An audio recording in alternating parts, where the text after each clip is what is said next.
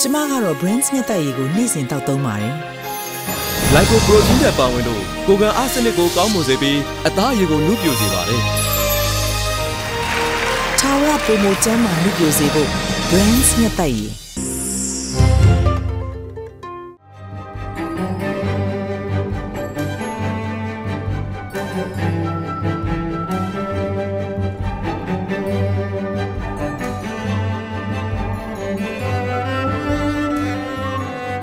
ဂျကီချန်ရဲ့အစ်ထွက်မဲ့ဇာတ်ကားထဲမှာပါဝင်တရုပ်ဆောင်ထားတဲ့ထိုင်ဝမ်မင်းသမီးပေါ့ဆာဥရန်နာနာတယောက်သူ့ရဲ့အခြေဦးလည်းဖြစ်မူလအစအနုပညာဘိုးတရေဒီယာချဲလိုကိုသာတည်ရင်နေသူပါ။အိုင်ဒီဂဲလို့နာမည်ပေးထားတဲ့ဇာတ်ကားထဲပါဝင်တရုပ်ဆောင်ထားတဲ့19နှစ်အရွယ်မင်းသမီးချိုးလေးရဲ့ဒုတိယမြောက်ချဲလိုအီဗန်ထွက်လာပါပြီ။ချဲလိုချစ်တဲ့ Disney အီဗန်မှာတော့လန်နာယီပုံမင်းတွေကြောင်းကနဝဲလက်ရာတွေကိုသူကိုယ်တိုင်တိကတ်ထားတာပါ။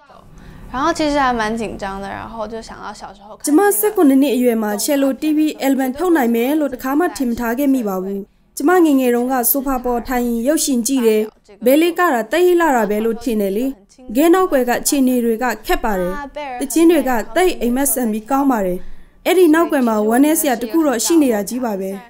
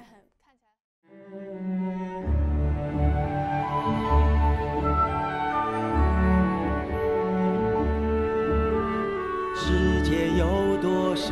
多神秘？阳光、雨水和空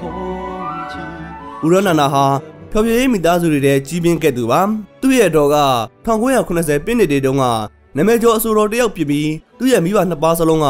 ထိုင်ဝမ်ကရုပ်သံမှာသရုပ်ဆောင်ကြသူတွေပါ။ဦးရနန္ဒာတယောက်ဟာချဲလိုအတီးသမားအဖြစ်လေ့ကျင့်ခဲ့သူဖြစ်ပြီးအခုတော့ကျောင်းကထွက်ပြီးသရုပ်ဆောင်အလုပ်ကိုအချိန်မီလုပ်နေပါတယ်။ဘေကျင်းချစ်ပုံမြင်ရုပ်ရှင်တဲ့သရုပ်ဆောင်တုန်းက15နှစ်သမီးပဲရှိပါသေးတယ်။ မကြသေးခင်ကပဲတရုတ်ပြည်ကအချစ်ဇလန်းဖြစ်တဲ့လူဝက်တီတီဇလန်းထွက်လာခဲ့ပါတယ်။ မကြခင်မှာတော့ဂျကီချန်နဲ့အတူတိုးဆောင်ထားတဲ့ကားထွက်လာပြီးရင်တော့ Bleeding Steel ဆိုတဲ့စိတ်ကူးရင်တိတ်ပန်ကားကိုဂျကီချန်ရဲ့သမီးအဖြစ်နဲ့တိုးဆောင်အောင်ပါပါ 他还是就大半夜，然后 ဂျက်ကီချင်းကလေပင်ပန်းလိုက်တာလို့ပြောတာဘယ်တော့မှမရှိဘူးပင်ပန်းတယ်တရေလောက်အိတ်ချင်တယ်နားလိုက်အောင်မဲဆိုတာကြားကိုမကြားဘူးတာပါရိုက်ကွင်းပေါ်မှာတစ်ချိန်လုံးရှိနေတယ်အဝတ်လဲခန်းတော့မသွားဘူး သူ့ကိုအဲ့လိုတွေ့ရတော့ကျမတော်တော်တော်ဖြုံသွားတယ်ငယ်တုန်းဆိုပို့အပင်ပန်းခံရမယ်လို့ကျမစဉ်းစားမိတယ်အသက်ကြီးလာရင်နောင်တမရချင်ပါဘူးကိုကြိုက်တာကိုလုပ်နေရရင်ပျော်နေတာပဲလေ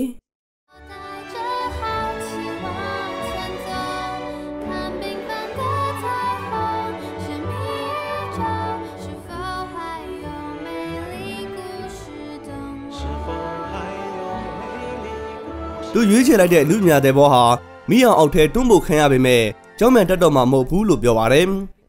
ဇကားတွေထဲမှာပဲဘဝအကြောင်းရုပ်ဆောင်ရင်တင်ယူတော့မယ်နာနာတယောက် It's really hard to